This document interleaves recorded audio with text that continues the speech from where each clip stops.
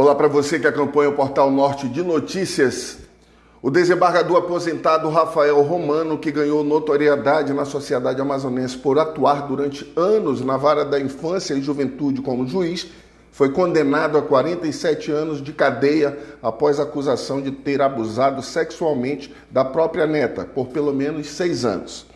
A sentença é do juiz Ian Dutra e corre em segredo de justiça. Em fevereiro de 2018, a mãe da vítima, a advogada Luciana Pires, denunciou Rafael Romano ao Ministério Público, relatando os abusos que começaram quando ela teria 8 anos de idade e se repetiram até a menina completar 14 anos, com a menor tendo apresentado nesse período várias marcas de violência pelo corpo. Mais informações sobre esse caso você pode obter no link abaixo. Eu sou Nailson Castro, do Portal Norte de Notícias.